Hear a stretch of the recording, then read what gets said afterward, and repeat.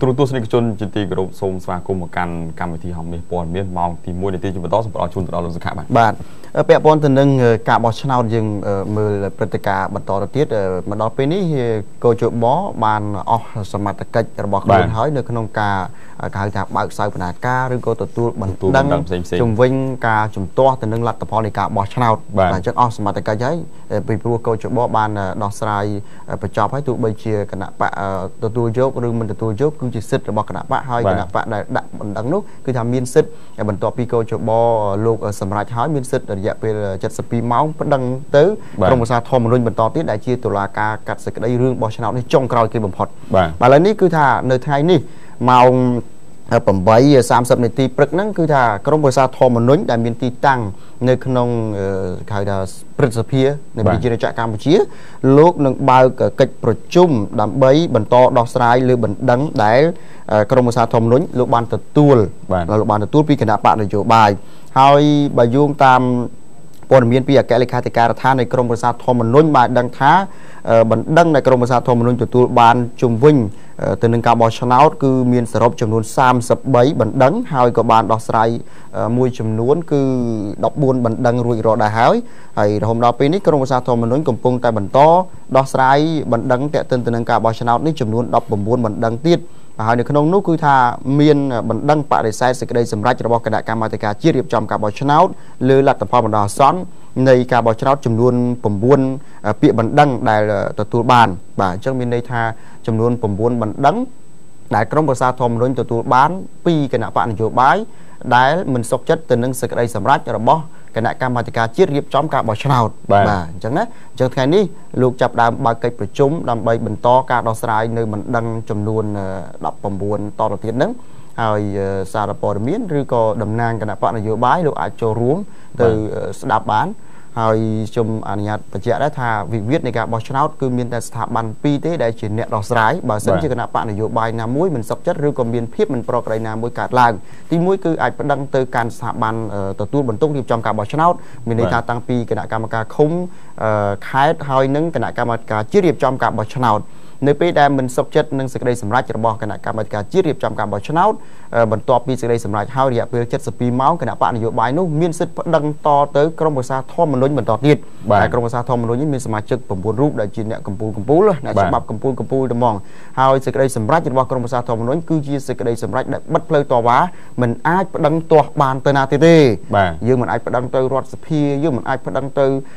អីអង្គការសហជីវជាតិបានទេព្រោះវាជាសេចក្តីសម្រេចបិទផ្លូវតវ៉ាតែម្ដងបាទហើយក្រមសាធម្មនុញ្ញនេះមានតួនាទីសំខាន់គឺនៅក្នុងការបកស្រាយច្បាប់អញ្ចឹងហើយដែលច្បាប់នីមួយៗមានភាពសពិចសពិលអញ្ចឹងចុះចេញចុះហ្នឹងអ្នកដែលបកស្រាយសម្រាប់តែម្ដងគឺមានតែក្រមប្រសាធម្មនុញ្ញទេក្រមប្រសាធម្មនុញ្ញគឺមានតួនាទីការពាររដ្ឋធម្មនុញ្ញត្មងគេហៅសាមញ្ញថាឆ្មាំរដ្ឋធម្មនុញ្ញបាទបាទអង្គរៈរដ្ឋធម្មនុញ្ញ បាទអរគុណហើយសូមអនុញ្ញាតបញ្ជូនទៅលោកបត្រាបន្តទៀតអរគុណឥឡូវសូមបន្តដំណឹងទៅកាន់ខេត្តឧត្តរមានជ័យនេះវិញគឺក្រមចោលមួយក្រុមគឺបានលួចកាប់ដើមឈើកញ្ញុងនៅក្នុងវត្តប្អុងដែលមានទីតាំងស្ថិតនៅក្នុងសង្កាត់កូនគ្រាវស្រុកសំរោងខេត្តឧត្តរមានជ័យអឺដែលហេតុការណ៍នេះគឺត្រូវបានក្រមចោបានលួចចាប់កាប់អាឈើលួចកាប់អាឈើដើមក្រញូងមួយដើមបាទមានតែមួយដើមទេនៅក្នុងវត្តនេះដែលបន្ទាប់ពីគណៈកម្មការវត្តនឹងប្រកាសថាអឺ លោកនឹងពិភាក្សាគ្នាដើម្បីធ្វើការកាប់ដើម្បីយកទៅលក់កសាងខ្លងទ្វារវត្តបាទលឺអញ្ចឹងទៅក្រុមចៅលឺភ្លាមបានដឹងថាយប់ហ្នឹងគឺចាប់ផ្ដើមលួចប្រន់បត្តិការកាប់មុនប្រសងហ្មងបាទហើយពលព័ត៌មានសុំមិនបញ្ចេញឈ្មោះបានប្រាប់អ្នកយកព័ត៌មានរបស់ហងមាសយើងឲ្យដឹងថាដើមឈើកញ្ញុំម្ដើមនោះគឺមានអាយុដល់ទៅ30ឆ្នាំ បាទទំហំនោះគឺ30ម៉ែត្រ30គុណនឹង30សង់ទីម៉ែត្រនៅខាងមុខព្រះវិហារវត្តប្រាសាទប្អុងតែផ្ទាល់តែម្ដង ហើយព្រះជគុណបានវាសនាដែលជាតំណាងព្រះសង្ឃនៅក្នុងវត្តបានមានសង្ឃដីកាថានៅជុំវិញបរិវេណវត្តនោះគឺមានដើមឈើជាច្រើនប្រភេទដូចជាកោះត្រាចយាងចំបក់ ឬក៏ធ្នងអីចឹងព្រមទាំងស្វាយព្រៃជាដើមដើម្បីធ្វើហើយជាពិសេសនោះគឺមានដើមឈើកញ្ញុងនៅជាប់នឹងព្រះវិហារហើយមានប្រហែល3 4 5ដើមប៉ុន្តែដើមមួយដើមត្រូវបានគេកាប់នេះគឺធំជាងគេបាទហើយដើមតូចតូចមានប្រហែល5ទៅ6ដើមគឺធំតែមួយដើមនេះទេដែលពួកចោលលួចកាប់កាលពី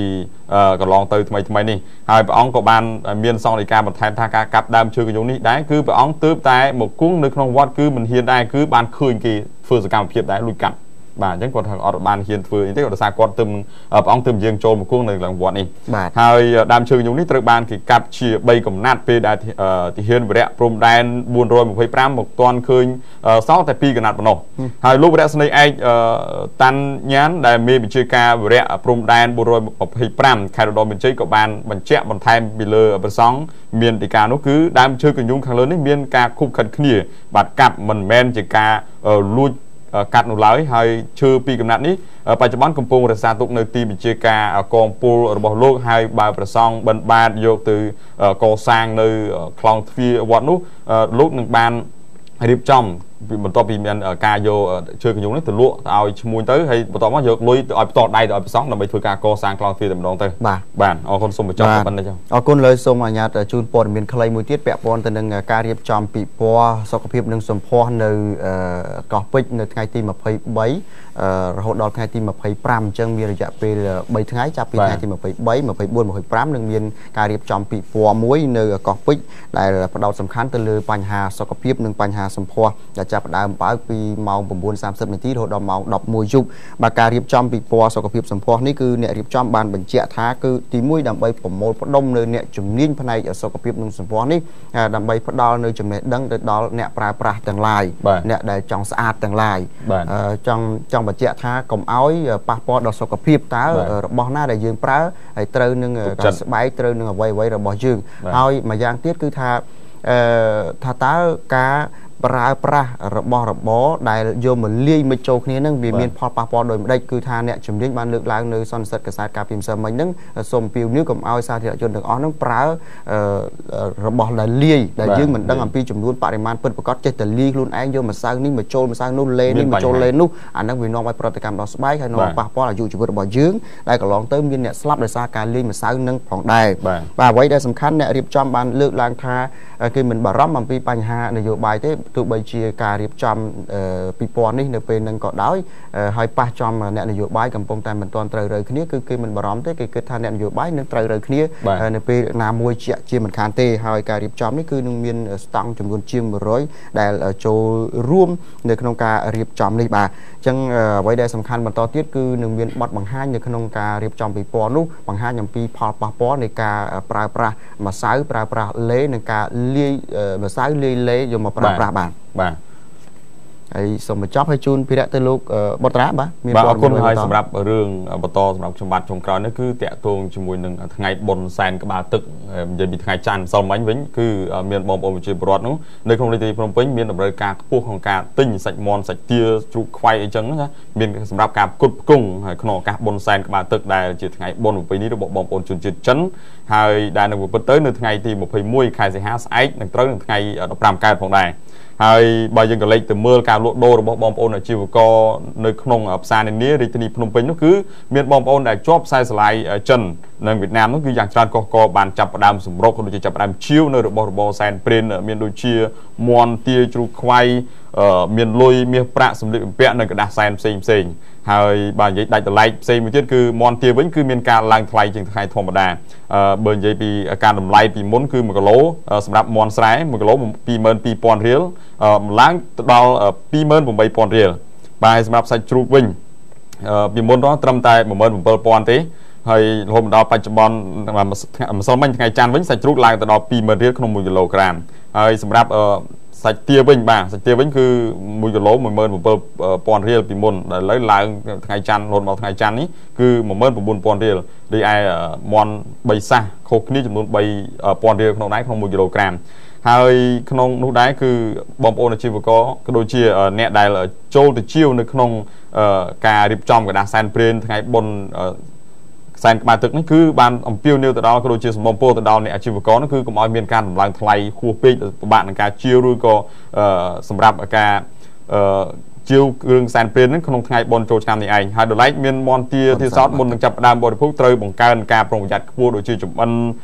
មន្ទានឹងឲ្យបានឆ្អិនល្អសាច់មន់សាច់ជ្រាឆ្អិនល្អហើយចំណែកអ្នកលក់ដូរវិញក៏មិនត្រូវលក់ដូរមន្ទាឈឺឬងាប់ទៅដែរអរគុណឥឡូវសូមបញ្ចប់ត្រឹមនេះចុះបាទទូទូចមិញអានឹងកូនមន់ឬក៏មន់ខ្មៅនោះណាអាកន្លែងហ្នឹងប្រហែលជាមន់ខ្មៅមន់ខ្មៅមន់ស្រែមន់ផ្សេងផ្សេងគ្នាណាមន់ស្រែមន់បេសាបាទគុណគ្នាអឺទូរទស្សនិកជនជាទីមេត្រីអឺតេតិនទៅនឹងការតម្លើងថ្លៃនេះវាអាចជាទី1អាចជាទម្លាប់ហើយទី2មិនមែនជាទម្លាប់ទេវាជាបាទរឿងត្រូវតឡើងត្មងពីព្រោះថាបងប្អូនអាជីវករគាត់ទៅទិញពីបងប្អូនប្រជាពលរដ្ឋអញ្ចឹងបាទកាលណាទៅទិញមកអារបស់នោះវាវាអស់អញ្ចឹងអ្នកទិញច្រើនអ្នកដែលលក់វាមិនសូវច្រើនដូច្នេះដណ្ដើមគ្នាទិញយកមកលក់ទីផ្សារអញ្ចឹងតម្លៃនោះវាគេហៅថាហ៊ានឲ្យថ្លៃហ៊ានដេញថ្លៃគ្នាបាទអញ្ចឹងគ្នាត្រូវយកមកលក់ទីផ្សារហ្នឹងក៏វាថ្លៃដែរបាទហើយតាក់ទិនសូមបន្ថែមតិចទៀតតាក់ទិនជាមួយនឹងមន់ច្រើនយ៉ាងដែរហើយបើសិនជាយើងត្រូវបង្ការដែរបើសិនសាច់មន់សូមបន្ទាបដល់បងប្អូនរបស់យើងជាវពីទីផ្សារទៅសូមពិនិត្យមើលឬក៏ចំអិនឲ្យបានឆ្អិនល្អសិនមុននឹងយើងចាប់ផ្ដើមបរិភោគអីចឹងណាព្រោះថាថ្មីថ្មីនេះគឺបានកើតឡើងអឺ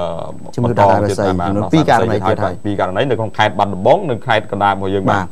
អរគុណទូរទស្សនិកជនជាទីគោរពរាប់អានពេលនេះយើងខ្ញុំសូមអនុញ្ញាតសម្រាប់មួយផ្លែសិនបន្តិចទៀតនឹងភ្ជាប់ទូរស័ព្ទទៅកាន់ភ្នាក់ងាររាយការណ៍ព័ត៌មានតាមបណ្ដាខេត្តវិញម្ដង